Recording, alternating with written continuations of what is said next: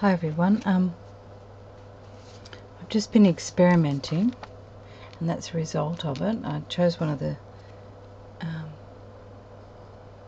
different techniques out of here for surfaces and different textures, and I happened to just open it up and on pours, so I thought I would give it a try. I sort of done a little bit of that, but not really, and this actually has um, different variations of different ways that you can do pours. Like this is actually a pour that's then sprinkled with alcohol.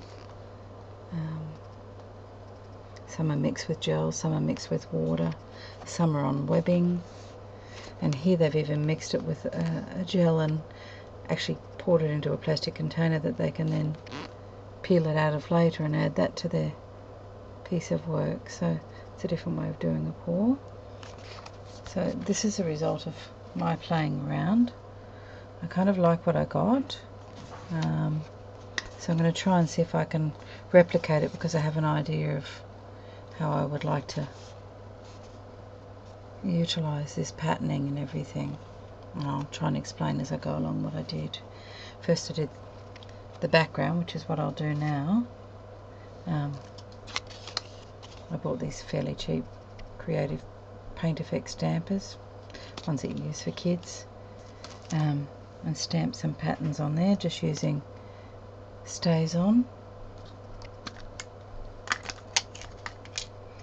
so I'll just do that. What I've actually done here is mask the top bit though because I want to leave that. I don't want that covered so that's the idea that I have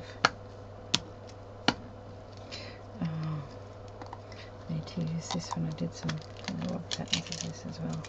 Not that it's probably um, relevant. And the other thing I found with these stampers is um, they wouldn't give a great impression until I put a foam mat underneath where I was working and then they actually gave a better impression.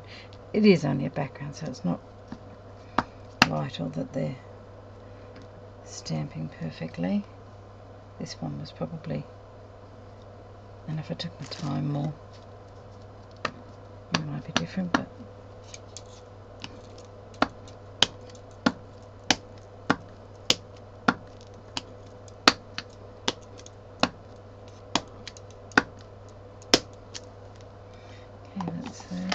and then I'll look at a that was vibrant violet, ultramarine, and this one is blazing red, which is I'm going to do the big circles out of. I was pretty much just experimenting and happy accidents.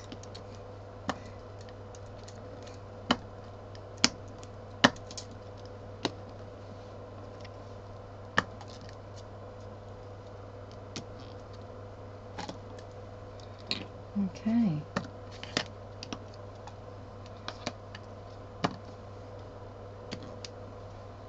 That won't do that. I'll give it dry, so sorry about the heat gun.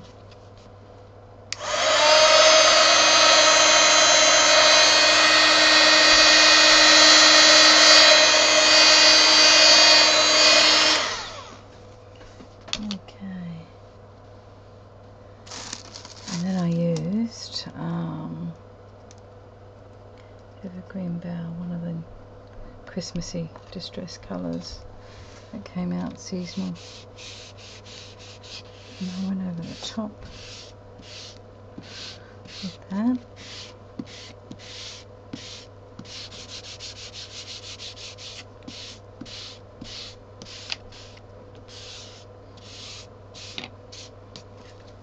move that. I've just sort of muted everything. Just going to lift that foam out because I don't really want to heat gun it. And I'm finished with that stamping now so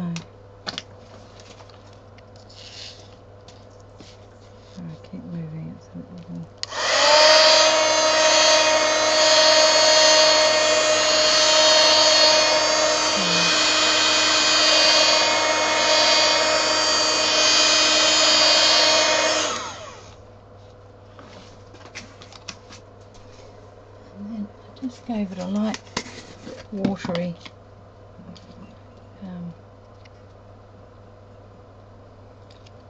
gesso.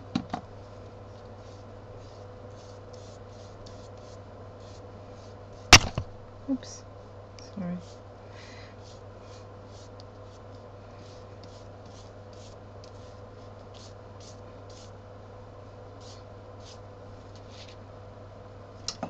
Just to give it a little bit more tooth again. I think that actually helped with the pouring, but I'm not sure. Sorry about the headphones. Very noisy.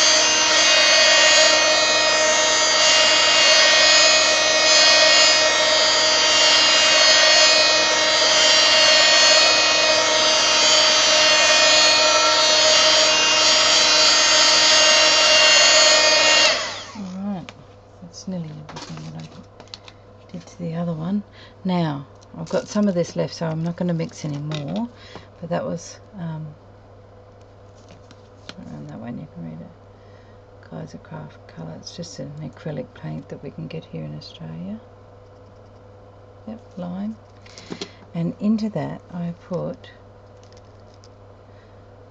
some of this clear glaze medium and I actually it was still a little bit too thick so I added a little bit of water to that and that's what I oh that's drippage not porridge.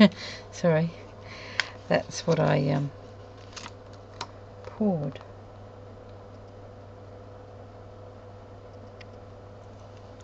And I just let it roll. It's a little bit thicker now. I think it's thickened up sitting there in between. Not sure if I'm going to get the same effects. And then I just went from side to side. Which is a whole lot thicker. I'm just going to put on a little bit more.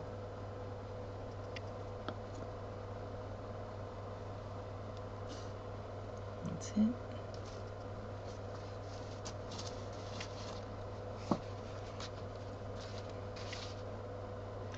Just lay down this paper towel to catch a lot of that drippage and maybe get some going on this side. I probably should have added a little bit more water to that. I don't know if you meant to add water to sealer, but I figured out well. Okay.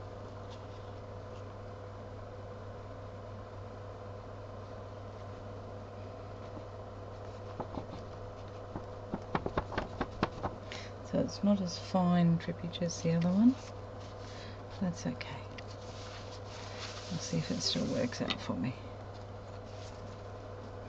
Move that. Now I'm just going to dry it just a little bit. Not lots, so it's going to be a heat gun again.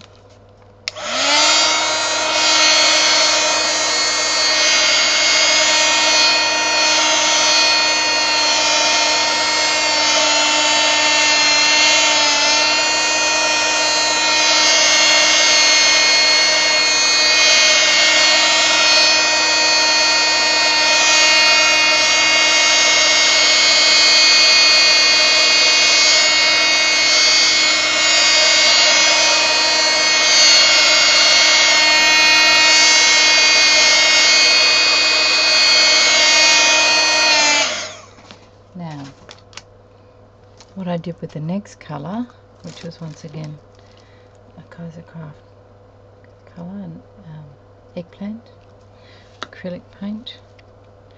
I just added a tiny little bit of that one. I didn't put sealer in it this time.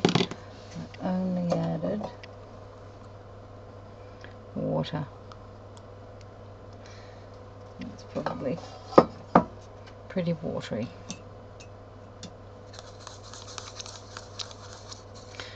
Think that's just a fraction too thin.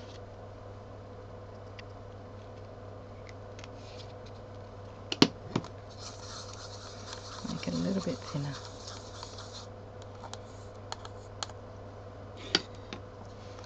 And I'm going to pour this. The other one isn't dry yet. I'm going to pour this over the top. And see what happens.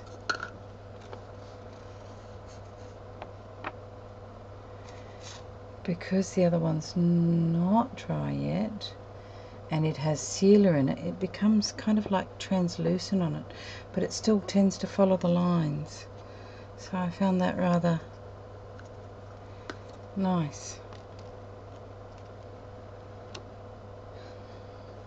I'm actually seeing the roots of trees in this, but we'll see.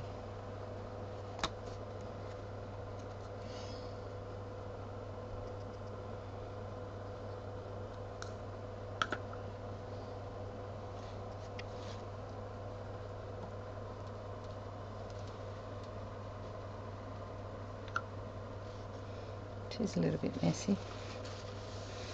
I tend to like messy.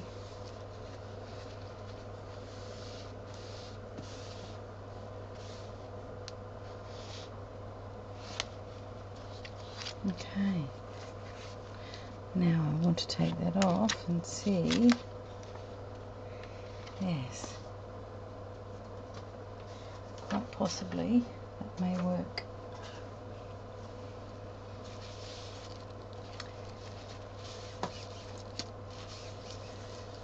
just cleaning up just a little bit.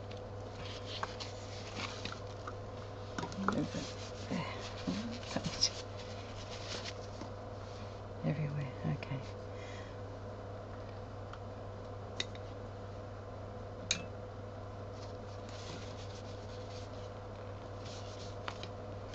So I'm quite liking the effects of that. The one that I did before still isn't dry yet. The sealer takes a little while to dry. And it actually has just a little bit of shine to it which tells me that it's not quite dry yet. But you can see the effect that I was going for but of course it never happens the same each time. But I'm going to stop the video there and hopefully I'll be able to show you the end results just this is going on forever